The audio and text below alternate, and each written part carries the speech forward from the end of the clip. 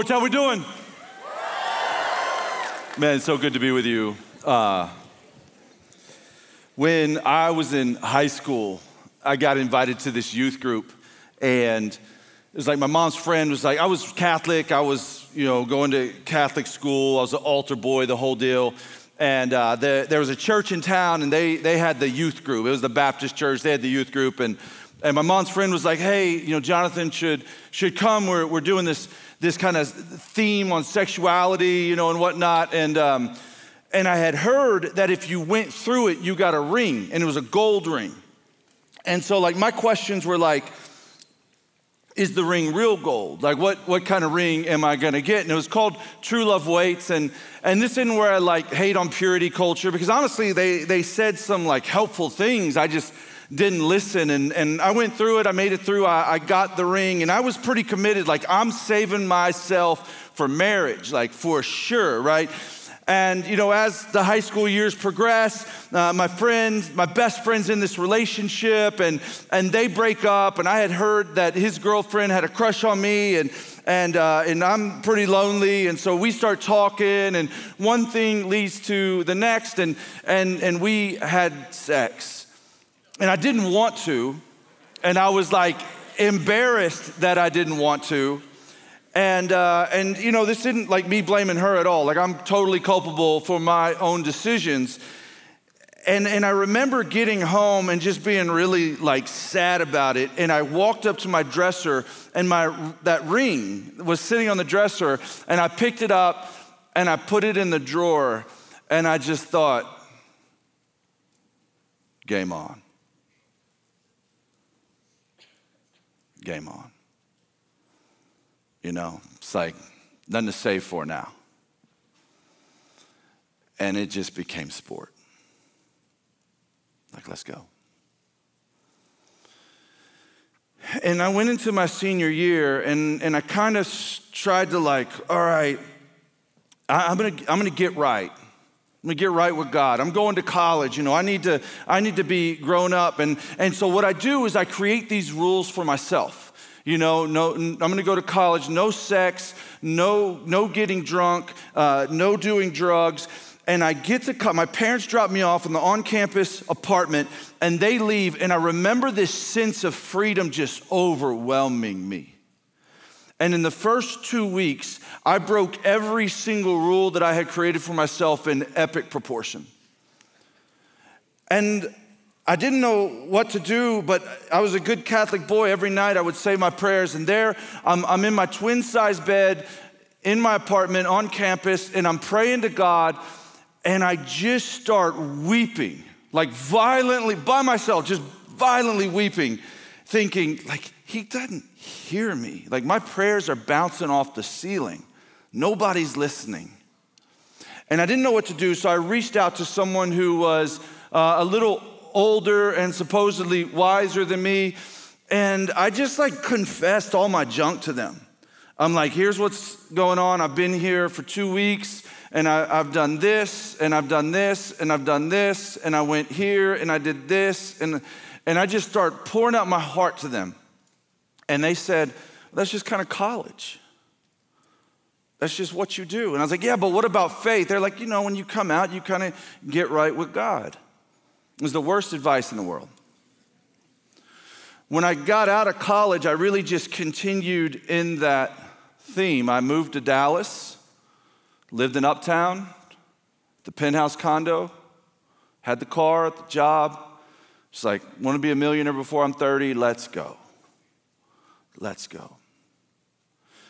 And at this moment in my life, I still kind of like, hey, there's a God, big guy in the sky. I talk to him when I need something, you know, please don't let her be pregnant, kind of thing, right? And and, and so here I'm at in this place, and I want to know some things. There, there's three big questions that I have. I'm see, searching God's will, and I'm like, where do you want me to live? Do you want me to stay here? Like, is it Dallas? Is this where I need to be? Like, maybe, I, why, why don't I move to one of the coasts? Why don't I move closer to the ocean? Why don't I move to the mountain? Are you sure it's Dallas? Where do you want me to be? And then it was, what do you want me to do?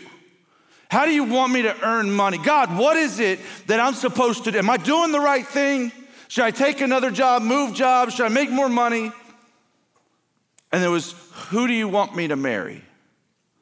God, who am I going to spend the rest of my life with? Those were my three big questions. God, what is your will for me? And if I was God and I was talking to me in that moment, this is my response to me in that moment. Why should I tell you? You haven't listened to anything I've asked of you. Like, like you gotta, you wanna know my will? You, you got like 66 books of my will. Like I'm, I've explicitly communicated it to you in here, and you've continued to do what you wanted to do. So, why am I going to make known my mysterious will if you've forsaken my revealed will? Like, why am I going to show it to you and say, oh, man, let me write it on the wall. Let me send you an email. Let me send you a letter. Let me, let me tell you in an audible voice or a burning bush, this is my will for you, JP. When everything I've asked you to do, you haven't listened. You've just done what you wanted to do. And so I, I want to talk with you for the few minutes that we have God's will for you and sex. God's will for you and sex. And it is going to be like completely clear. I'm gonna read you a verse that says, This is God's will for you. It's gonna be that kind of clear. And, and, I think that if we hear that tonight, like in some ways, we're culpable just because of the geographic space that we take up tonight, where we're at, and the words that you're hearing, you're going to leave here with tremendous clarity. This is God's will. And I think you have to ask the question why would He make known to me His mysterious will? If I have forsaken his revealed will. Because it's going to be clear from the scriptures. And in fact, there's a warning in this passage, and I'm just going to read to you the last verse I'm going to teach tonight. It says in verse 8, Therefore, anyone who rejects this instruction does not reject a human being, but God, the very God who gives you his Holy Spirit.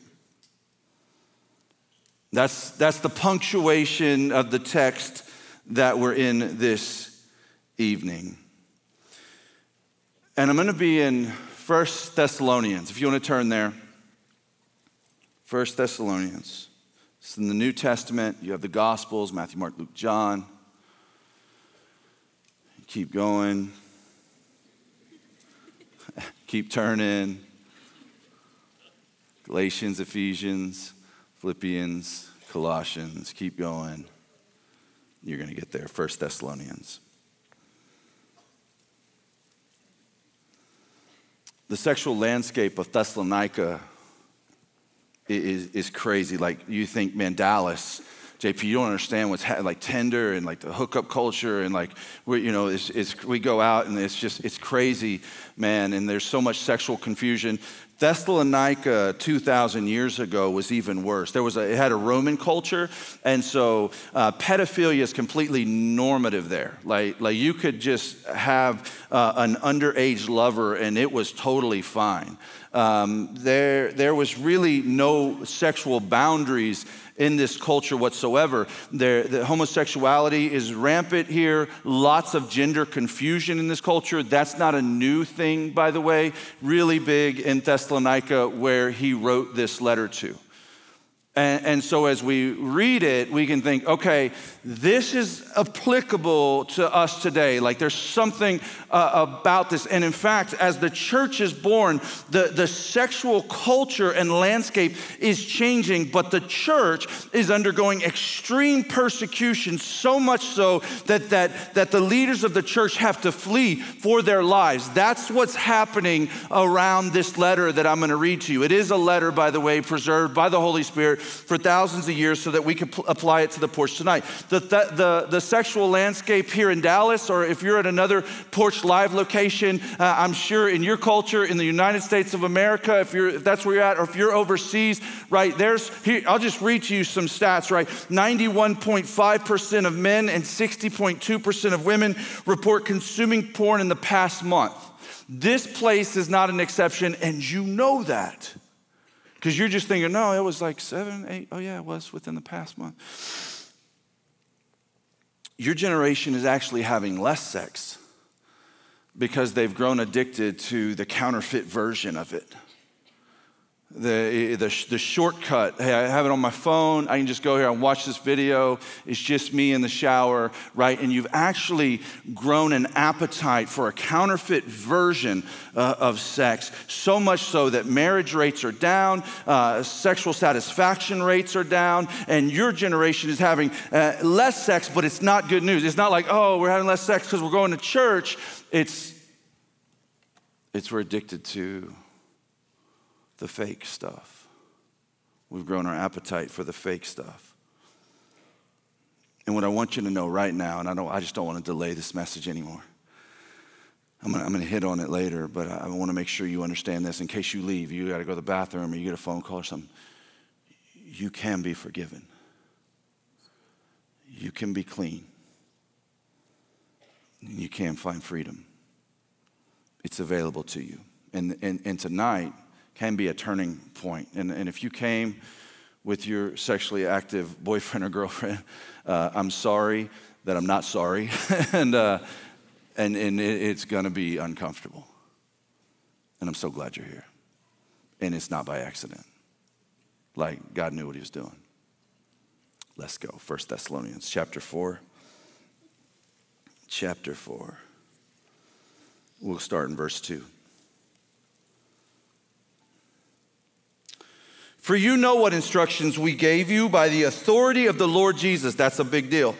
Hey, hey, you know what we said. By, by the authority of Jesus, it is God's will, told you, it is God's will that you should be sanctified, that you should avoid sexual immorality. There it is, right there, plain. This is God's will for you, that you should be sanctified, that you should avoid sexual immorality. So, first point this evening God's will is that we would become holy and stay pure, that we would become holy and stay pure. We, we say it on, on the podcast that I get to be a part of every week that you're becoming something, that every future, you're, you're training in every moment is training for a future moment. Like, like right now, you are training for a future version of yourself. And no one here is like, man, when I get married, I can't wait to commit adultery. And yet it happens all the time right? When I get married, I can't wait to be a drunk, uh, addicted to gambling, like I'm gonna be enslaved to pornography, and yet that you're gonna become a bigger future version of yourself right now. That's kind of how life works. You're, training for that moment right now. And he says, Be holy. He doesn't just say, Avoid sexual immorality. He says, Pursue this. He says, Set your aim on this. What? Becoming holy. You don't need to be a normal Dallas young adult, a normal uh, young adult in Houston or, or in, in any other part of this country that God has called you, holy, that, that sanctified, it means to be set apart that you would be different. That you, right now, you could commit in your heart, no, I'm gonna be different. I'm gonna be different. He says, be different how? In the way that I remain pure. Become holy and stay pure. And if you're like ever like, well, but it's, but dude, everybody's doing it. That, that right there should tell you that then you're not set apart if you take part because you're called to be different. 1 Corinthians 6, 18 through 20 says, Flee sexual immorality. All other sins a person commits are outside the body, but whoever sins sexually sins against their own body. Do you not know that your body is a temple of the Holy Spirit who is in you, whom you've received from God? You are not your own. You've been bought by a price. Therefore, honor God with your body. With your body, you honor God with your body. Okay, you're, you're different. So when it comes to sexual immorality, you're not like, oh, let me see how close I can get, how far is too far. He says you turn around 180 degrees and you run as fast as you can. That, that's not, well, just one look, just one click. Let me just watch the first 30 seconds. No, you stop and you turn and you run.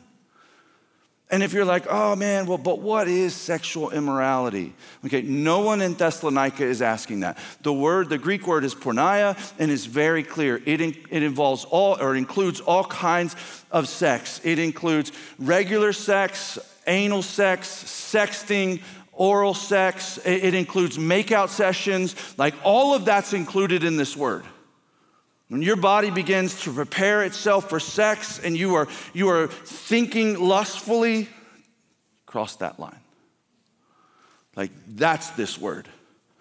That's, that's what he's talking about here. And I know some of you are fighting for purity and you find a victory, and I'm so proud of you. And, and some of you, you cross major lines, and I want you to know it's not too late. I did too. And I have the privilege of reading God's word. The, the, the edge you hear in my voice, it's not anger at you, it, it's frustrations with the enemy that seeks to drag us all to hell. He wants to rob us of life. Jesus came so that we might have life and have it to the fullest. And he's come to steal, kill, and destroy. What I want you to understand at a deep heart level is like sex that was God's idea. And I mean, I know it's like, that's not like a mind blowing moment. But it's like, yeah, but like, like, think, like he invented it. Like, like he made the parts the way they did. On the guy, he gave that part, and on the girl, he makes it fit. And that, and if you watch it, this diagram, no, I'm just kidding, no diagram. no diagram, no drawings, no images. But but but come back with me. Let me just say this. Like he put the nerve endings where he did and he made it feel the way it does. That was all God's idea. He's like, hey, you know, Father, Son, Holy Spirit. He's like, I got an idea. And he's like, what? Are you serious? Like, yeah. well, why? Well, babies, you know? And like, oh, cool, right? And I, you know, this didn't happen that way because they were kind of one in community. But anyways, it was their idea. That's my point. So, so like what Elon is to the Tesla, God is to sex. What Steve Jobs is to the iPhone, God is to sex. The, the inventor, the creator, the, the genius behind it. There's this commercial, um, it was originally in Sweden, where this woman gave her father a, an iPad for Christmas and he's in the kitchen and they're talking, you know, and, and, uh, and he's cutting up vegetables. You know, you just see him making something in the kitchen. He's cutting up vegetables and she's talking to him. And, and, and she's like, Dad, how'd you like the iPad? And he's like, The what? And she goes, You know, the iPad I gave you for Christmas.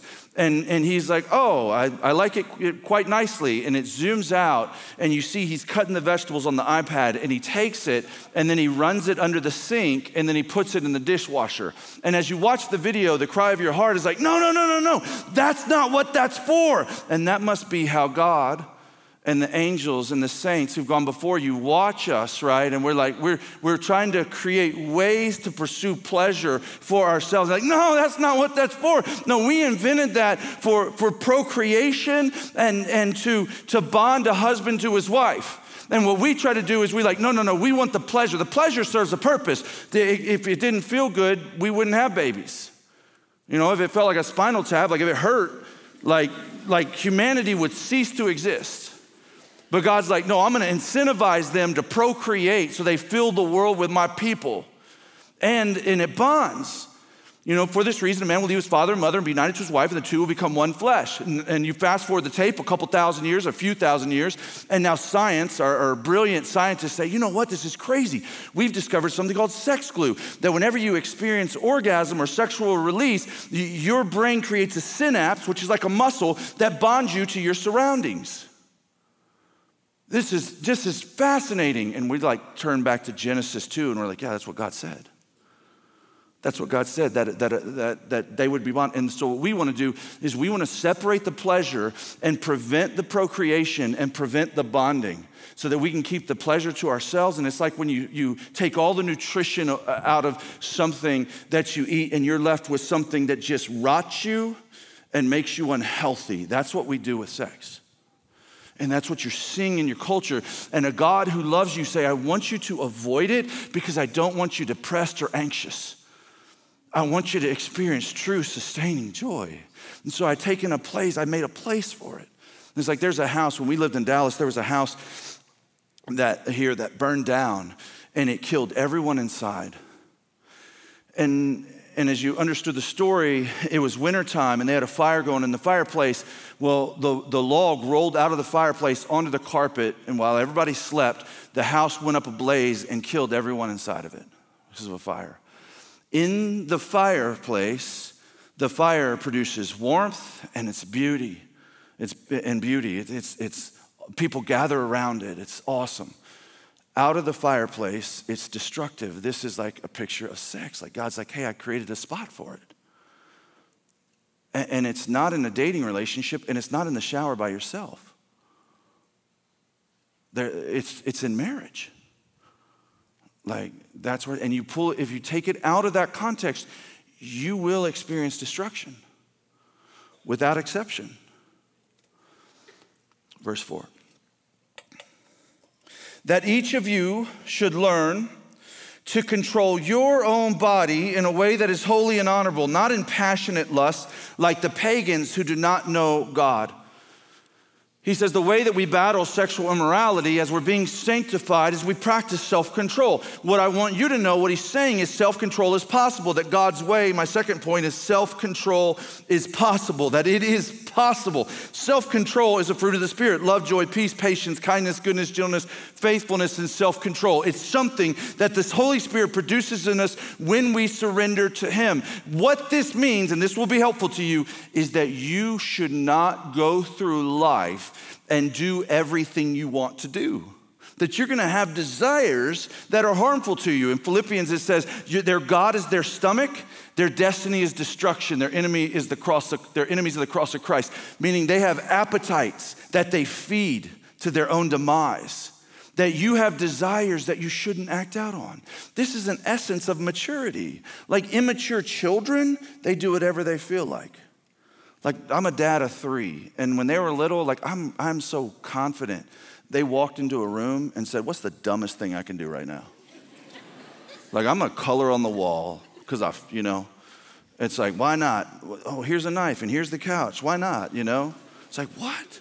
I remember when Weston was like four years old, he had a cup of milk and he's like holding it like this, and he's like, I wonder what would happen when I turn it upside down on the table. And it's just like milk everyone's like, what are you doing?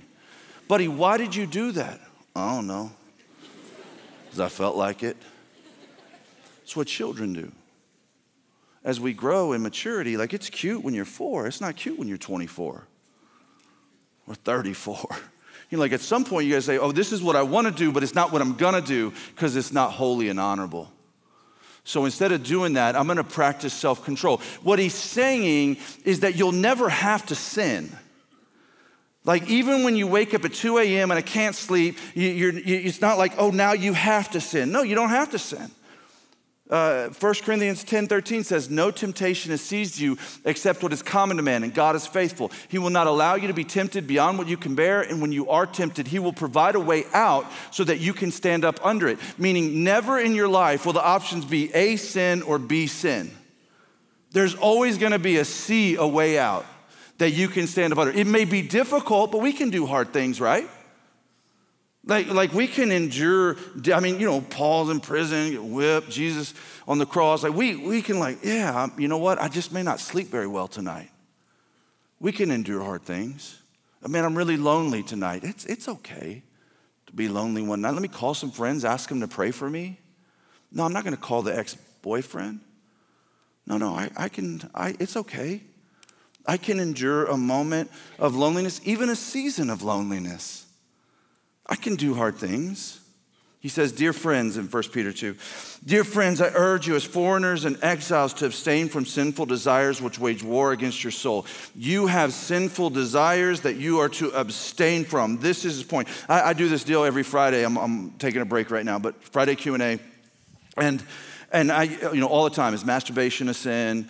Um, you know, what, is, what does this look like? I, I, I travel and speak on sexual sin. People, I, at this stage right here, like I have had this conversation hundreds and hundreds of times. Let me tell you what it looks like. It's like, say, man, say, yeah. Man, no, so my, my struggles is, uh, it's, my story is like yours, man. What's, what's your story? What is it? Oh, no, man, we just have similar struggles, similar background. Yeah, like what? What? What is it? Uh, you know, just similar struggle. Oh, oh, pornography? Like you, you looking at porn? You struggling with porn? Yeah, man, I'm struggling with porn. Struggling. I am struggling with porn, man. oh, hey, man, I got you. Hey, how do you access pornography? What you mean? How do you access porn? Oh, you know, my, my phone. Where's your phone? It's, it's in my pocket. Oh, cool. I thought you said you were struggling. You just carrying around with you everywhere you go. You're not struggling. You hadn't even started to fight. You hadn't even gotten in the ring. You hadn't even put the gloves on or anything, man. You talk about struggling. No, no, no, no. You're just like, come with me everywhere I go. You know, come on, porn. You know, let's go. That's what you're like. What do you want me to do, man? Pastor, what do you want me? To, you want me to get rid of my phone? Sure. Yeah. Get rid of your phone. I mean, get a brick phone. I don't know. Get a Motorola Razr. I mean, some other kind of phone. It's all grainy. You're not gonna look at porn on that. You know, get some other kind of phone. And you don't need to, you're like, why, why have a phone that tempts you every single time you're by yourself? You're like, oh, it's a gateway to all kinds of explicit images, but man, I'm really struggling. No, no, no. You are, you are like launched to some demon. You're like, come and get me, demons. Like, here I am. You know, I, I like porn and I got it with me in my pocket. Like, that's what's happening. That's not struggling like, let's be honest. Like, I can deal with anybody if you're honest. You come up, you're like, man, he, let me be honest with you. Great. We can talk about a path to healing. But if you're like, I want to play games so that I can struggle, I'm like, how long you been since the fifth grade? You know what? How old you are? I mean, like porn and masturbation since the fifth grade. Like you're gonna take that into marriage, like, oh, but now I'm gonna be faithful. No, n- no, you're not. It's not how that works.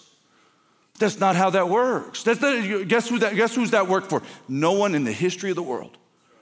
Because an addiction to porn is not an addiction to sex, it's an addiction to variety. And it's not like all of a sudden you get in this monogamous relationship. It's like, no, I know that I went to university for adultery, but now I'm gonna be faithful. And I'm gonna be totally satisfied with your body, even when it changes, and even as you grow old, and even as gravity takes its toll on you, uh, you're still gonna be the one for me. Even though I have fed my mind with, with thousands of images that are, you know, very different than that. Right? That's not, I mean, I, listen, I'm just talking logic, guys. Like, I'm just appealing to your logic right now. That's not how it works for anyone. And we don't think it's that big of a deal. And yes, I understand with the invention of AI, the game just changed. VR, the game just changed. You better suit up for battle. And ladies, you're not off the hook. I mean, we, we do a ministry for people addicted to pornography right now, and, and half of them are female. And, and you guys aren't talking about it, and you got to start talking about it. Okay? You got to help your sisters out. Especially if you found freedom, you got to tell your story. They need you. They need you to tell your story. Jesus said in Matthew 5, if your eye causes you to sin, gouge it out. If your hand causes you to sin, cut it off. He's like, hey, take extreme steps to get well from this. Don't, don't compromise as we talk about sex. If you're like, well, I feel like I left behind, and everybody's getting ahead, and that's a way to find a husband. No, it's, it's a way to find a really bad marriage that you would be much better off single. Verse 6. And in this matter, no one should wrong or take advantage of a brother or sister.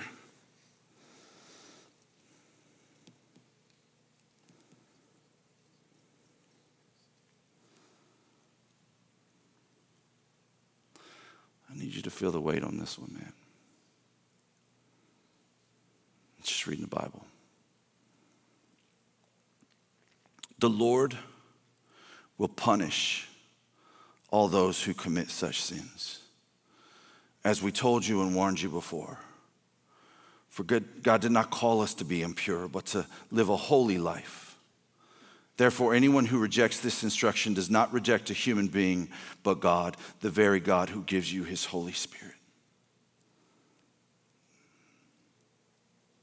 God's warning.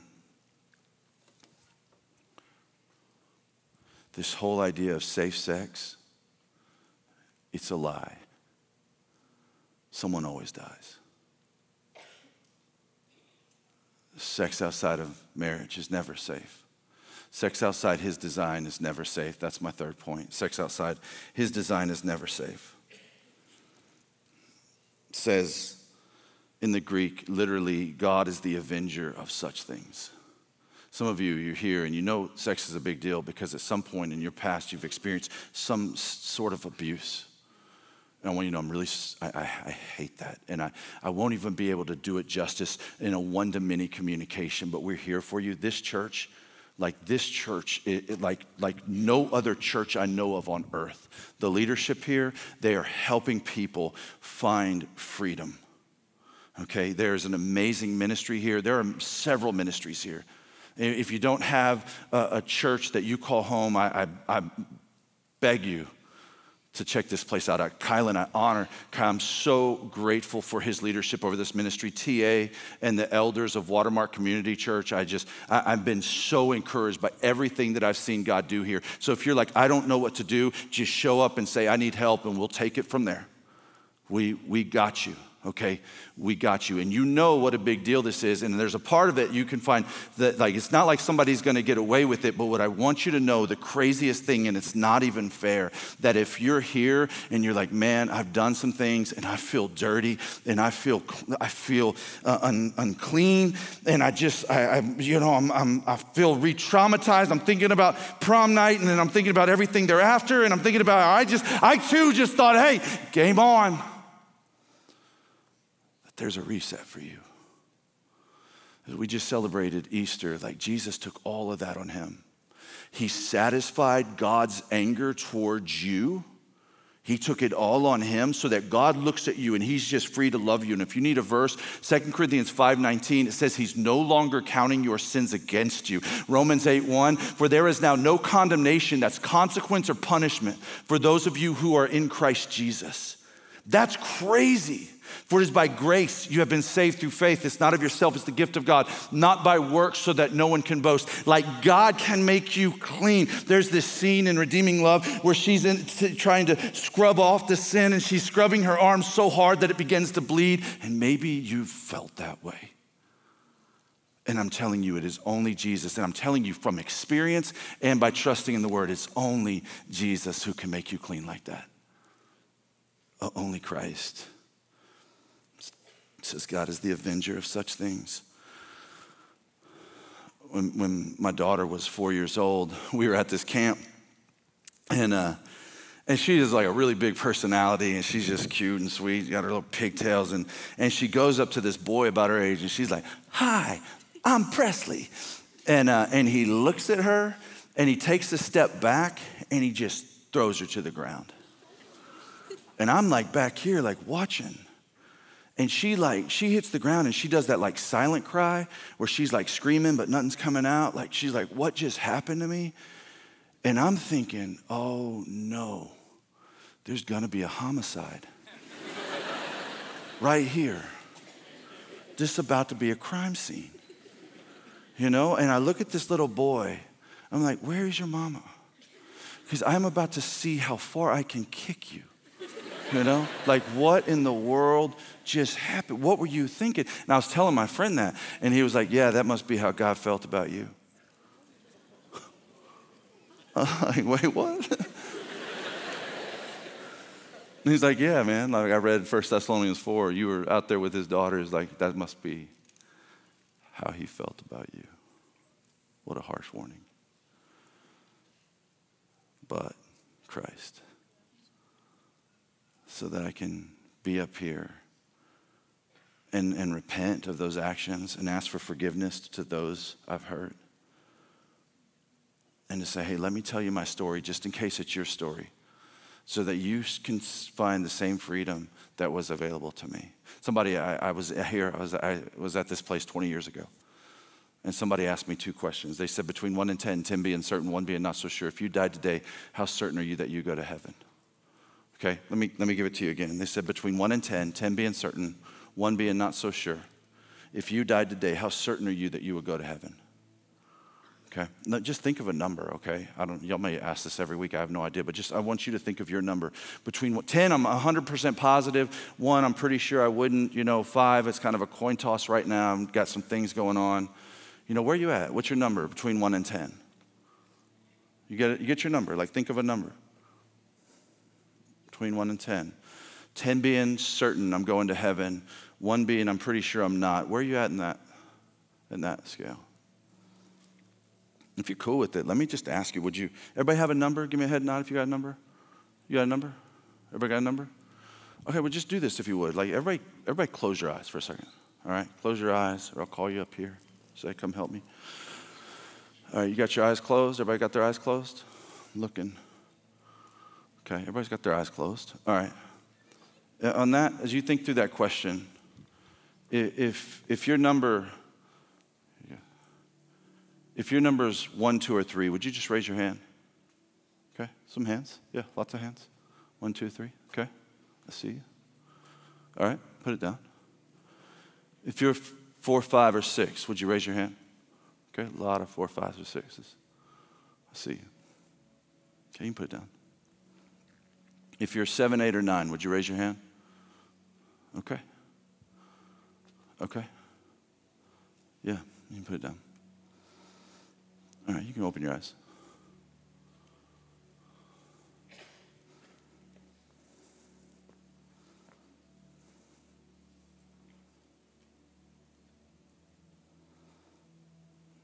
This 10 seems arrogant.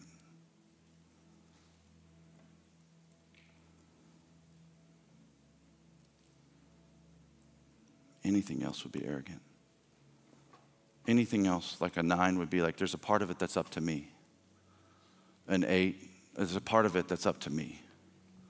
A seven, well, I don't, you know, I've done something. Oh, it's up to you? Oh, oh you getting to heaven has something to do with what you do? Because I thought it was, I thought it was Good Friday and Easter. I thought it was, oh, he died for your sins. But yeah, but yeah, but God, you had to, you had to allow your son to die, and I've got to be good. right? That's the gospel. Trust in Jesus, his death and forgiveness for your sins, his death and resurrection for the, for the forgiveness of your sins, and, and be a good person. That's the gospel. That's the gospel. That's the good news. Why did Jesus die? Why did Jesus die? Because you're a pervert. Why did Jesus die? Prom night. Why did Jesus die? Sixth date on Tinder. Yeah, we went too far.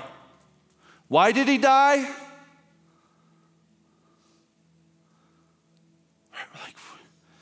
It seems like, JP, it seems like if I could know, the Bible would tell me I could know. Well, that's 1 John 5 13. I write these things to you who believe in the name of the Son of God so that you can know that you have eternal life. You can be certain. You can be 100% sure, and it has nothing to do with what you do and everything to do with what He did for you on the cross. That all of your sins went on Him. The wrath of God, His anger at your sins were satisfied on Jesus. They go in the grave, and He comes out without about them.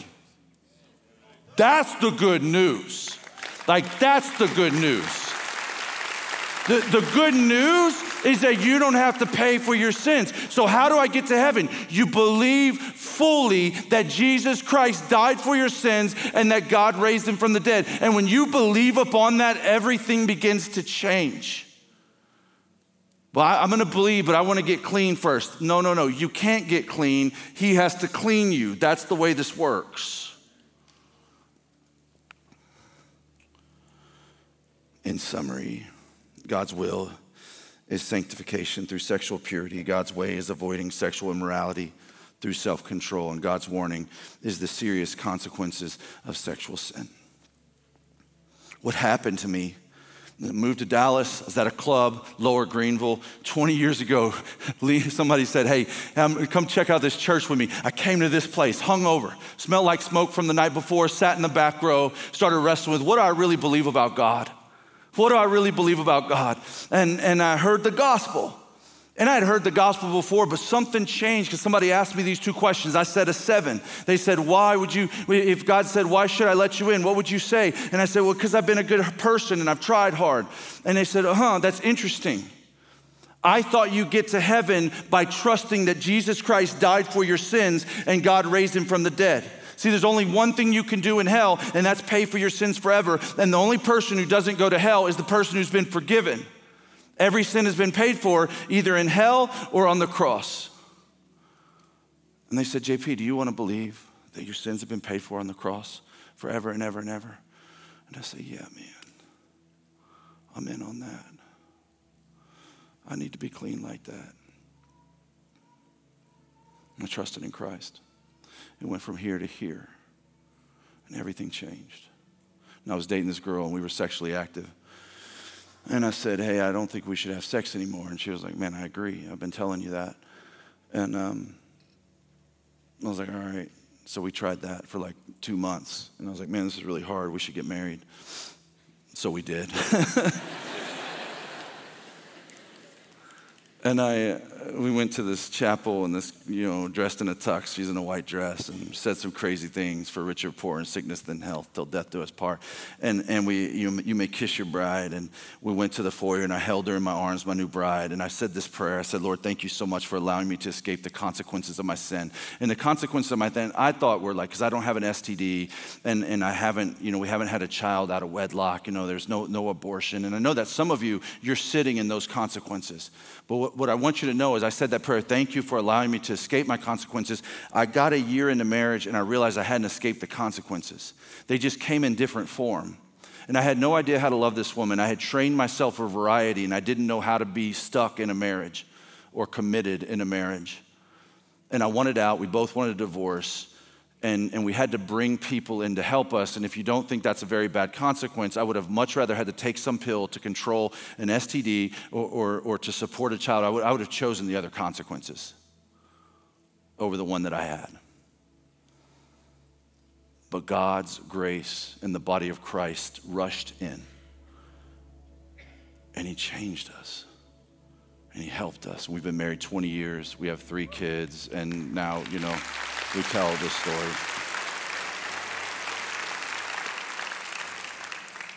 I'm going to pray. I just, I beg you, if you raised your hand, if you raised your hand earlier, man, don't leave before you have a conversation with an amazing porch volunteer.